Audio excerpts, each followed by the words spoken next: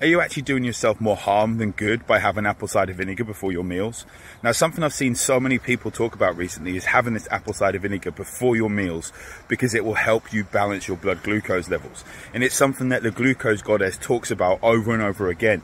And I love the glucose goddess. She's got some very good tips. The problem is, is a lot of people don't have good gut lining and it's very compromised. So having this apple cider vinegar can do more harm than good if you do not do an apple cider vinegar test beforehand. Now, we have gut lining, and if we have inflammation, if we have damage to our gut lining, we're actually going to cause more harm.